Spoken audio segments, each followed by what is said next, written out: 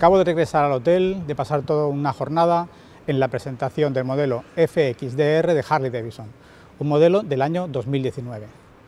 Hablamos de una motocicleta de 1.868 centímetros cúbicos, con un balón trasero de 240 y un neumático delantero de 120. Os dejo con el resto del vídeo para conocerla mejor. Si al final del vídeo os gustó, por favor, dadle al like. Obsérvala con detenimiento. ¿Pesa en ella una custom? Esa es la pregunta. La Harley Davidson FXDR 114 es, posiblemente, la que mejor relación peso-potencia presente de todo el catálogo Harley Davidson. Potencial no le falta, y no dudes que te pondrá en apuros si pretendes conducirla como si se tratara de una custom tradicional. Y dicho esto, paso a describir su parte técnica. Con 114 pulgadas cúbicas, o el equivalente a 1868 centímetros cúbicos, la FXDR 114 de Harley Davidson con 303 kilos de peso en orden de marcha y un par de 16,53 kilogramos a solo 3.500 revoluciones se sitúa en uno de los extremos de la marca norteamericana. Existen en ella muchos detalles, pistas, que delatan cuál ha sido la inspiración para crear la FXDR 114 su asiento es monoplaza, incluso sin estriberas para el pasajero. Bajo la tapa que ves solo hay un reducido espacio apenas útil para guardar la documentación. El filtro, elemento que en las motocicletas pensadas para acelerar y por extensión en todos los vehículos dragster, está dirigido directamente hacia adelante. Primera pista. El escape es un 2 en 1 con un buen acabado, pues no presenta soldaduras a la vista. Lo que vemos es una cobertura que esconde los tubos y preserva la integridad de nuestra piel. La rueda trasera es una 240-40-18, un enorme balón que supedita el comportamiento de marcha, más por el bajo perfil que apenas amortigua y por la garganta de la llanta de 18 pulgadas que por el ancho del neumático. Segunda pista.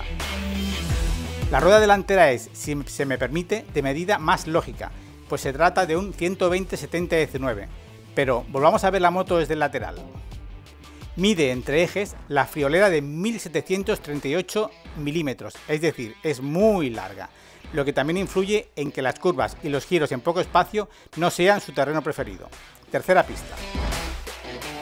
El cuadro de mandos incluye testigos luminosos de luz larga, intermitencias, neutral, nivel bajo de presión de aceite, diagnóstico del motor, control de crucero activado, testigo que visualiza el buen funcionamiento del ABS, nivel bajo de batería y entrada de la reserva de combustible.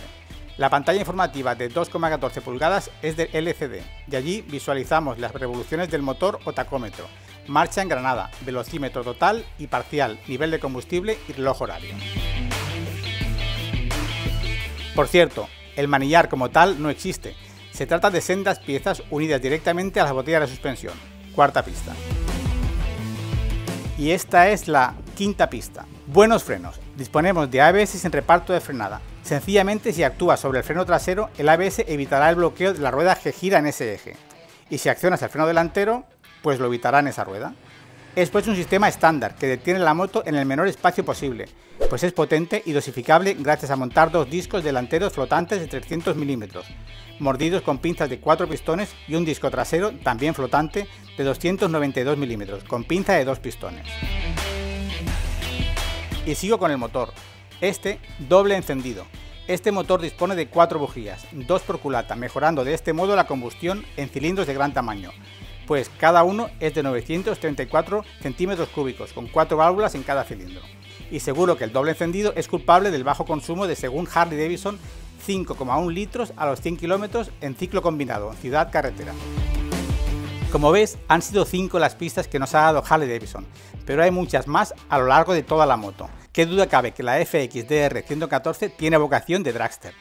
Sin serlo, pues no deja de ser una moto de calle, que acelera muy bien, sin control de tracción ni modos de conducción. Sencillamente todo queda bajo tu responsabilidad. La transmisión es por correa, un elemento que apenas precisa de mantenimiento, es silenciosa y limpia, y Harley Davidson lleva años fiel a este sistema. Pero siempre hay que hacerse esta pregunta tras los fríos datos. ¿Y dinámicamente cómo va? Es una buena pregunta, pero en la que la respuesta siempre habrá que matizarla, pues dependerá de lo que esperes de ella. No es una custom al uso, salvo en la posición adelantada de las estriberas. Si estuvieran centradas e incluso retrasadas, hablaríamos de una Street Duck sin paliativos. Pero no es así.